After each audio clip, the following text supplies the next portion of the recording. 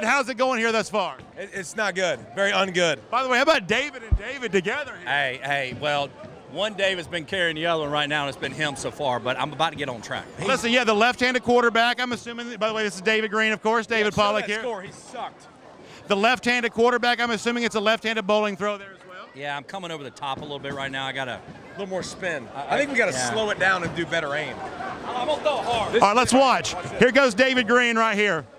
Former SEC champion, Georgia quarterback, one of the winningest quarterbacks in NCAA history. Let's see if we can get the scene here. He throws it hard. Hey, I give him credit for that. He throws it hard.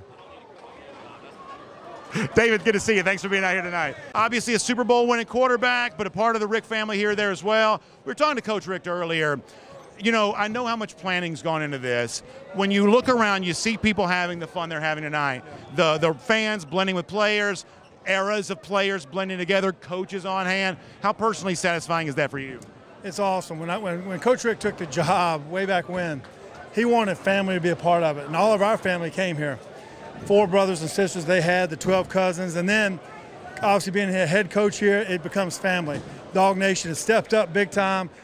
Everyone here in Athens, all the sponsorship the state of Georgia. It's incredible. Get the whole Georgia Bulldog team being out here with Kirby. Like, it's an incredible night. Raising money for, for Parkinson's and Crohn's.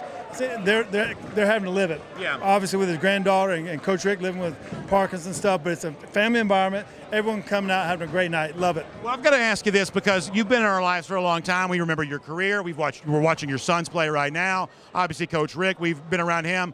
What's it like when you're blending the life of a player, coach, and family, and the fact that it kind of all just sort of bleeds together there, and you know it's your normal life. For the rest of it, it's a very different thing because we're watching a lot of this play on television. What's it like, you know, kind of blending football and family together the way that y'all have for so many years? It's the way we've grown up. So, so my little kids, obviously they're playing Texas A&M now, but they were at all the Georgia Bulldog games growing up with Uncle Mark on the sidelines, and then after the games, we're over at his house having dinner, and so it's always been about family, faith, and just, and and that's it in football, Right. really. So we've got, it's all been blended in. All the t- 12 cousins here in town, they grew up together. We all went to school at Prince, and and then just making Athens our home.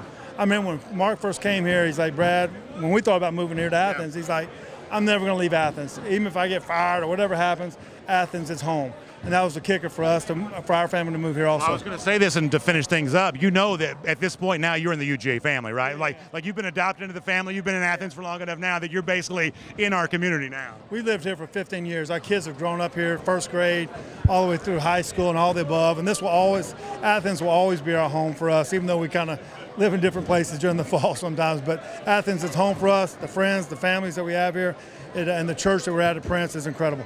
I'll tell you what, I really appreciate you stopping by and seeing us. Thanks for a great night, and thanks for allowing DawgNation to be a part of it. Oh, that's awesome. Appreciate you, DawgNation. Way to step up.